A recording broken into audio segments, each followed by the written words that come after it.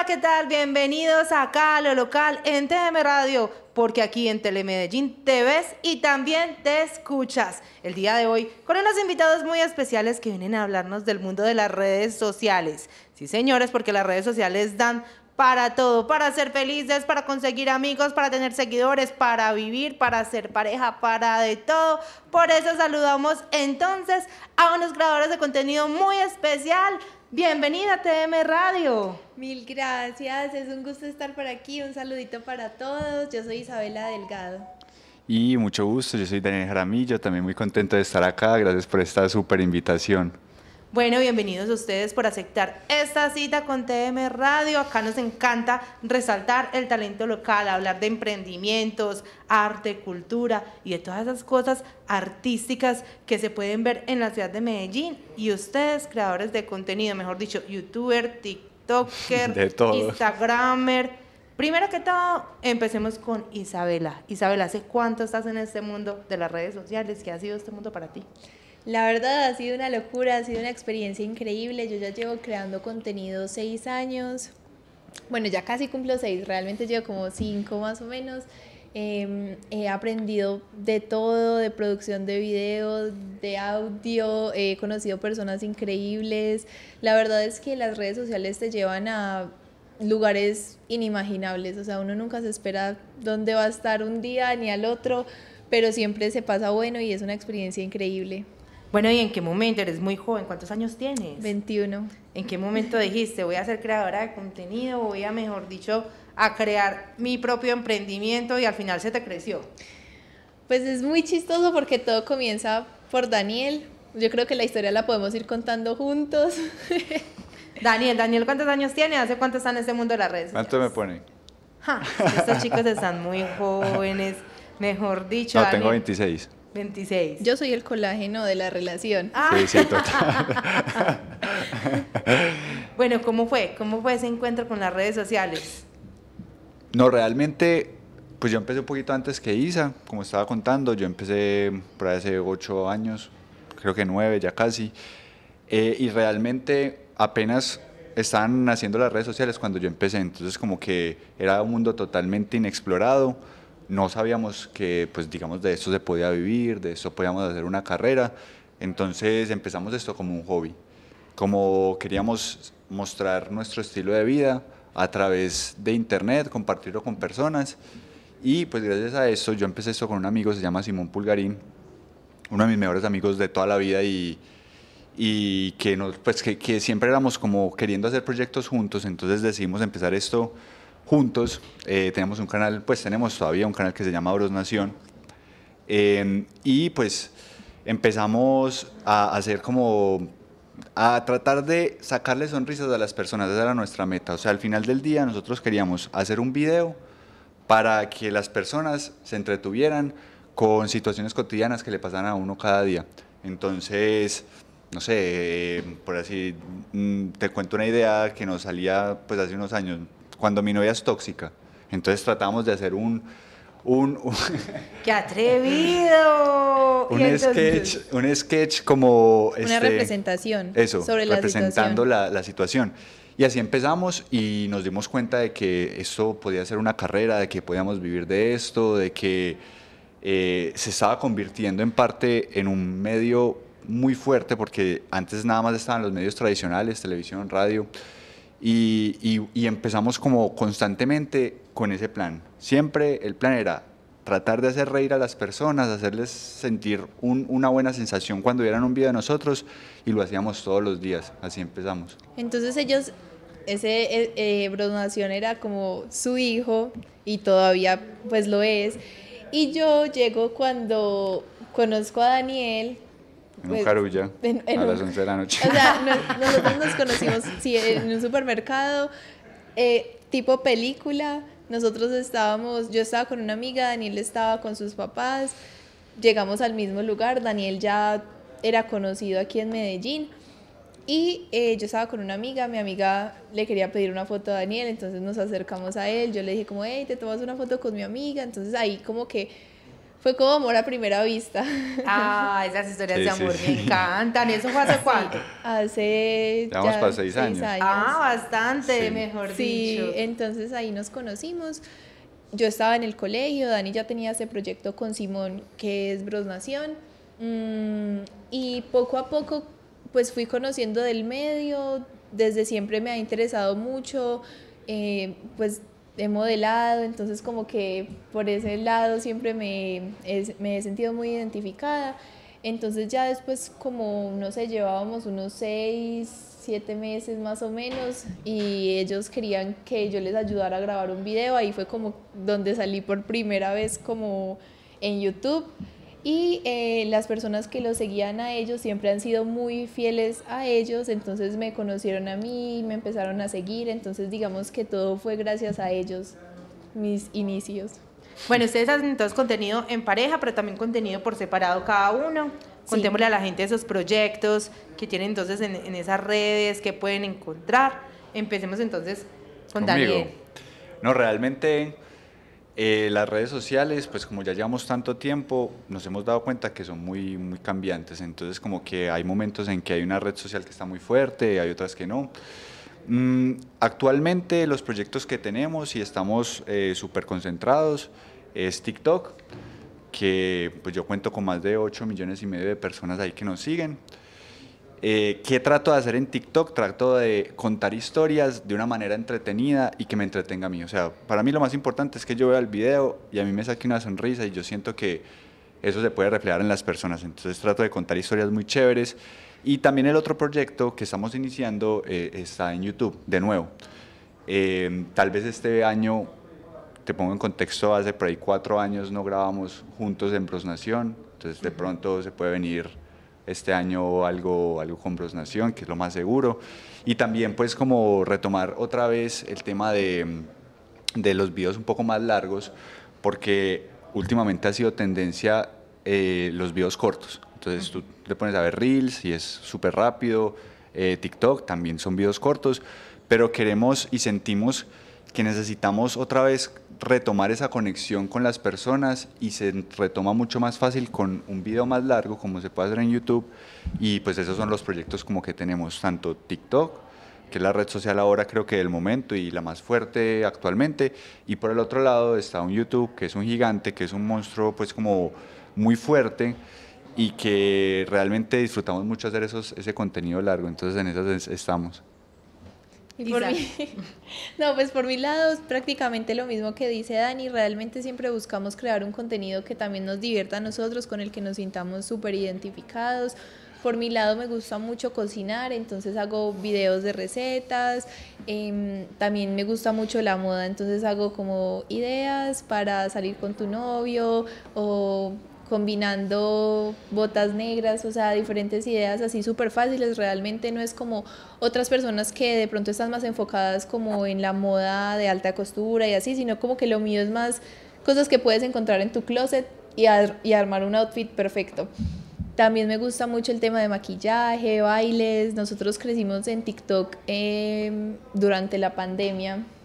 Ese fue como nuestro mejor momento en la aplicación porque era una aplicación que todavía no era muy conocida y nosotros tuvimos como la idea de empezar ahí, o sea, no quedarnos solamente con Instagram, sino también como migrar a otra plataforma que de pronto no era tan grande y pues nos dio la sorpresa de que terminó siendo la principal, la que todos los niños y todas las personas están atentos, entonces digamos que ese fue como el momento en el que dijimos, esta es la aplicación, tenemos que seguir creando por aquí. Y ahora, ya dos años después de este momento, pues dijimos como, bueno, ¿qué queremos hacer? Porque realmente la monotonía en este medio va cansando, entonces siempre buscamos otras alternativas. Por eso estamos pensando de nuevo en empezar con los videos largos de YouTube. Bueno, hablemos, hablemos de mitos, hablemos de cosas, porque la gente diría como que, guau, son unos TikTokers, no hacen nada, no trabajan, y mentiras que este es un trabajo súper grande, súper ar- arduo, tienen que saber de todo, tienen que estar todo el tiempo pensándose. Entonces, primero, contémosle a la gente, ¿se puede vivir de las redes sociales o hay que hacer definitivamente otra cosa? O si uno es juicioso, está planeando las cosas como son, eh, ¿o qué? ¿O cómo es este mundo para los que quieren ser TikToker? Yo creo que realmente cualquier persona puede vivir de lo que se le dé la gana. Si tú eres malabarista, puedes hacer una carrera de eso. O sea, realmente siento yo que cualquier cosa que se haga con pasión se puede monetizar de alguna manera. Y más ahora con el Internet, que creo que eso es una de las más grandes eh, sorpresas y regalos que nos dio la vida, digamos, en, este, en esta época, porque estamos pasando de hacer lo que nos toca a hacer lo que nos gusta y poder vivir de eso. Entonces la respuesta a tu pregunta es, ¿realmente se puede vivir? Sí. Llevamos, yo actualmente llevo viviendo más de seis años de las redes sociales sin ningún inconveniente, que claro, que hay que hacerlo con mucha pasión y eso que, requiere, tener constancia, tener dedicación, estar dispuesto a, a darlo todo.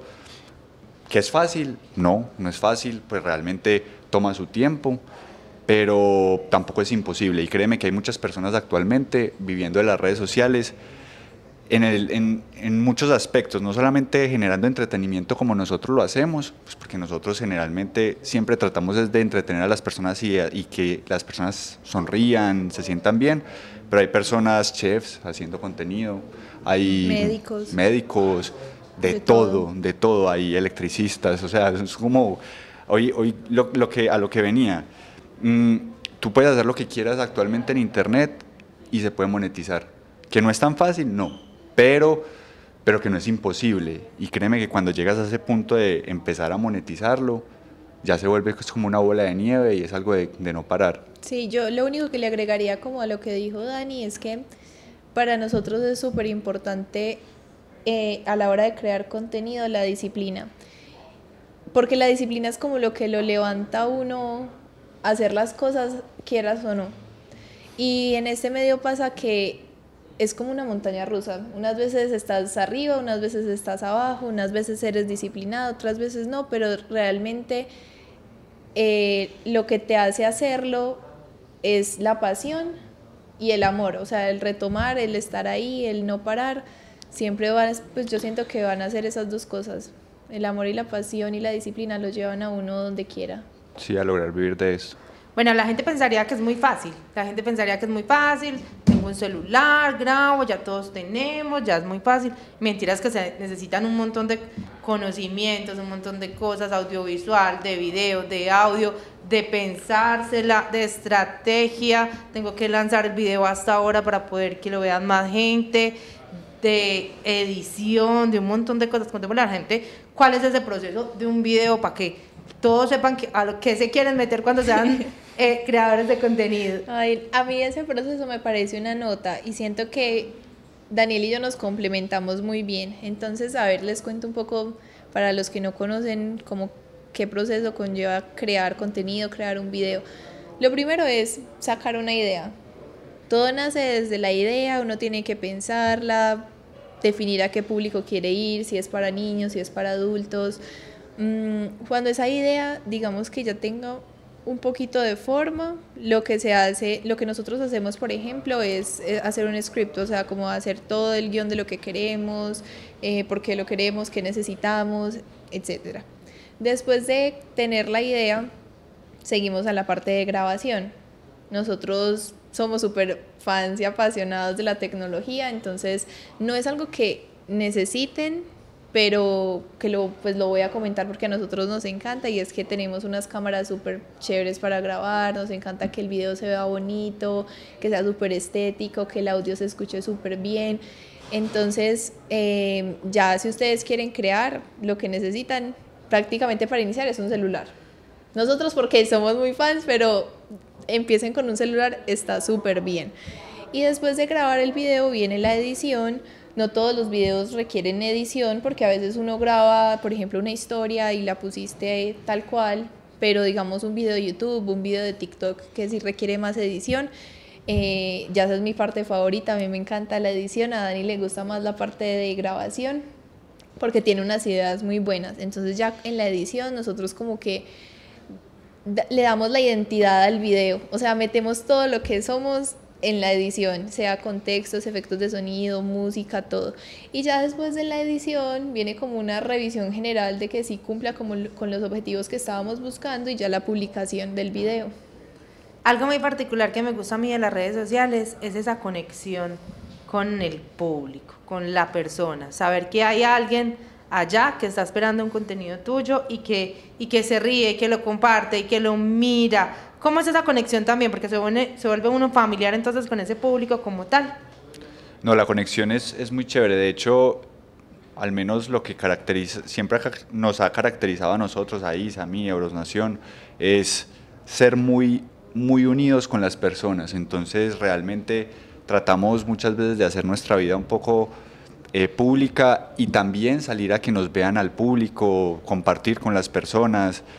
Siento que esa es realmente la verdadera conexión, porque estar conectados a través de una pantalla es un poco difícil, pero ya cuando tú le logras compartir quién eres tú a las personas y aparte de eso, ellos te pueden ver en un café, en un centro comercial, en cualquier parte, siento que las personas como que se, unen más como a ti, a tu estilo de vida y lo agradecen, eso lo agradecen mucho porque realmente es muy complicado tener una conexión fuerte pues simplemente viendo un celular. Sí, por eso nosotros siempre buscamos ser lo más reales posible. O sea, desde que nos levantamos nos ven en pijama desarreglados, hasta cuando peleamos y tenemos problemas en pareja, lo compartimos también para que de alguna otra forma las personas también puedan llegar a solucionar ese problema, em, hasta en un evento súper arreglados. Entonces como que yo siento que ser real en redes sociales es lo que permite que las personas sientan una conexión contigo. Mejor dicho, que es esa historia tan bonita el día de hoy acá en lo local. Bueno, y contémosle a la gente cómo actualmente o hace poco ustedes incluso ya empezaron a hacer contenido con personajes muy famosos, en particular ahora con Netflix, que los buscó para hacer un contenido especial con la serie You, que está en ese momento de estreno. ¿Cómo fue ese encuentro y qué fue lo que encontraron por allí con ese personaje tan particular? Fue lo máximo. Sí, no, realmente fue brutal. Eh, tuvimos la oportunidad de grabar un video con Penn Badley, no sé, no sé cómo se pronuncia sí, Penn Badley. Perdón, Penn, si te estoy diciendo mal. eh, y, y, fue muy chévere porque era un reto que creo que era para todos, tanto para el equipo de Netflix como para nosotros, eh, poder tener la, el, como el contacto con un actor pues, que, es, que es tan reconocido a nivel mundial. Eh, tuvimos la oportunidad de tener una llamada con él por Zoom mmm, y fue una cosa de locos porque realmente era con un actor que admirábamos mucho, era aparte en inglés, y pues nosotros sabemos inglés, pero uno a veces se enreda hablando en español, ahora tener la oportunidad pues de hablar con, con alguien que tú admiras tanto en inglés, pues era, era otro reto. Eh, y realmente todo salió muy bien, él como persona es alguien increíble, se ale, pues le sacamos sonrisas, o sea, era, era muy increíble porque era de no creer, ¿sabes? Es ver a un ídolo eh, y poder estar hablando con él y aparte que tener una conversación muy, muy amena. Entonces eso fue, eso fue, y luego después de esa conversación nosotros nos dedicamos pues como a grabar el video que, que está en TikTok y en Instagram, pues por si no saben qué video es, ahí está para que lo vean. Están nuestros perfiles. Y... Es que enseguida hablamos de los perfiles, hablamos de todo, pero hablemos de esa experiencia que sintieron. ¿Los buscó Netflix? ¿O cómo llegaron hasta allá a entrevistar a este hombre, el hombre misterioso de las relaciones? Y ustedes que son pareja, ¡ay, pucha! Con el loco de las relaciones de Netflix. no, fue, la verdad, sí, eh, todo empezó porque Netflix quiso, contó con nosotros para realizar eh, este video, esta idea.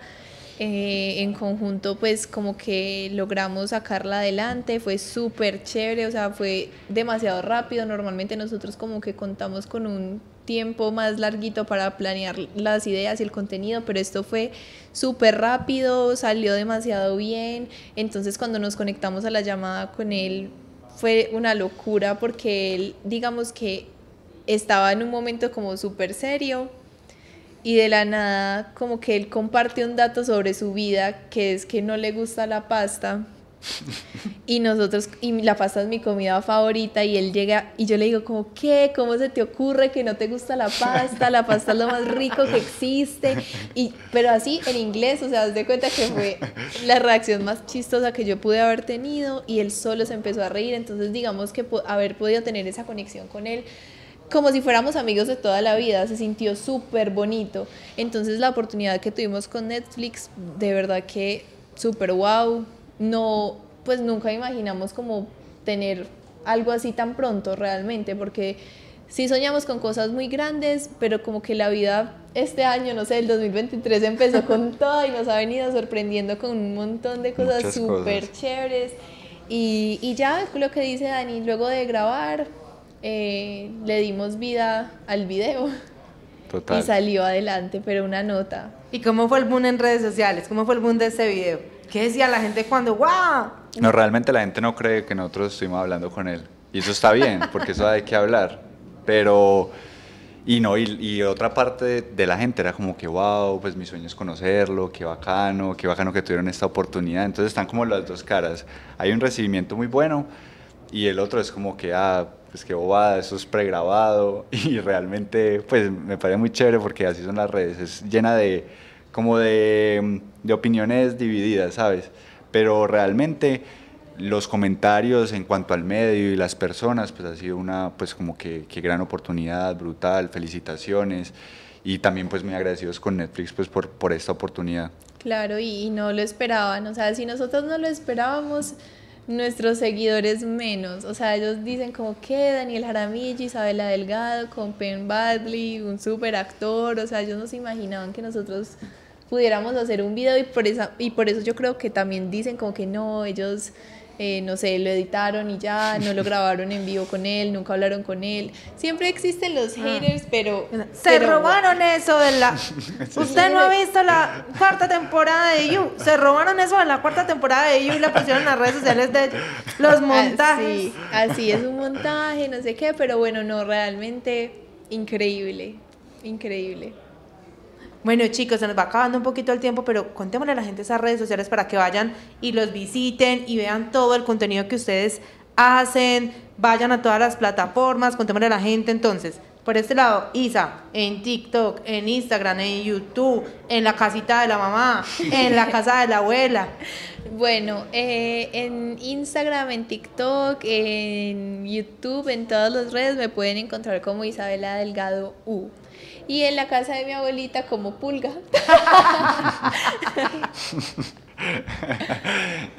no, yo mm, eh, en YouTube y en TikTok me pueden encontrar con, como Daniel Jaramillo, Daniel con dos Ns, y en Instagram eh, como Daniel Jaramillo 1. Ahí me pueden ver en mi casa no me tienen apodos, entonces como que no, no puedo decir un apodo como el de Isa. Ah. pero, pero... A ti sí te tienen apodos. Danielito. Ah, bueno, Danielito. Mi niño hermoso. Ay, no nos vamos sin hablar de Facebook. Es que yo tengo una tusa porque yo soy chica Facebook. Yo soy chica Facebook, porque yo soy de la época de Facebook, ya con todas las redes sociales de ahora, sí tengo Instagram, tengo todo, pero yo soy súper chica Facebook, yo todavía, y no hablan de Facebook. No quieren a Facebook, yo todo el día ahí viendo memes. Realmente sí queremos a Facebook, pero real, no, no creamos contenido ahí, pero tenemos muchos amigos del medio que sí crean contenido en Facebook, es una plataforma súper chévere que digamos que lo, lo, lo, mantiene a uno como creador muy bien, o sea, te mantiene cómodo, feliz, contento, tiene una buena monetización. Realmente YouTube y Facebook en este momento en Colombia son las redes que monetizan como plataformas para los creadores. De resto viene siendo ya como el tema de campañas, colaboraciones con marcas, pero directamente monetización de aplicaciones, Facebook y YouTube son las mejores.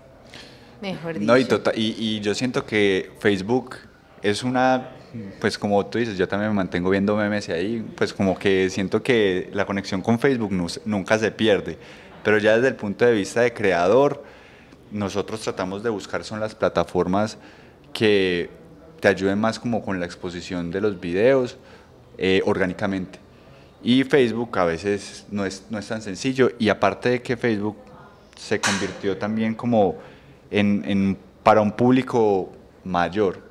Sí, ve, Facebook pero no te estoy diciendo... de los viejitos. No, no, pero, pero, pero, pues no, no, o sea, no te estoy diciendo a ti ni mucho menos. Yo también lo consumo, o sea, yo digo, yo soy un viejito, yo soy un viejito. Viejitos porque por este lado, pues, sí, no. Es Facebook la plataforma de los de más de 30 años, mejor dicho. o de 26 para adelante. De los de eh, más de 30, de los que cuando estábamos por allá en el 2002, 2003, guau, ¿qué es esto? Sí lo queremos. Y uno, ah, ¿te acuerdas que uno hasta De los que jugaba en empezamos Facebook? en Hi-Fi. Uno jugaba en Facebook, uno podía jugar en Facebook, uno hacía un montón de Uno cosas en jugaba en Facebook. Facebook. Yo tenía Facebook debería retomar eso porque uno jugaba con los amigos y todo. Ajá. En una misma plataforma. Yo tenía una granja. Sí, sí, Sí, sí. súper chévere. Pero siento, digamos, que Facebook como que ya está mirando hacia el futuro y ahora todo el tema del metaverso y eso también se va a venir en tendencia en unos años muy fuerte y, y Facebook y Meta, que es la empresa de Facebook, le está apuntando Al mucho, futuro, mucho a, sí. a- a las cosas. Entonces creo que vamos a poder ver una especie de Facebook, pero ya en el metaverso. Vamos a ver. Tener granjas en el metaverso. Chicos, muchas gracias por acompañarnos y a ustedes también por acompañarnos en esta historia. Ya sabe, pues, anímese si usted quiere ser creador de contenido. Y si no, pues ahí están todas las redes sociales de estos chicos para que también vayan, visítenlos, se diviertan, contenido hecho con mucho amor, con felicidad, desde el corazón, buscando entretener a todas las personas, buscando llevarles esa chispa de alegría. Muchas gracias por acompañarnos acá en lo local y nos vemos en otra y nos vemos, gracias por ver. Chao, gracias por vernos.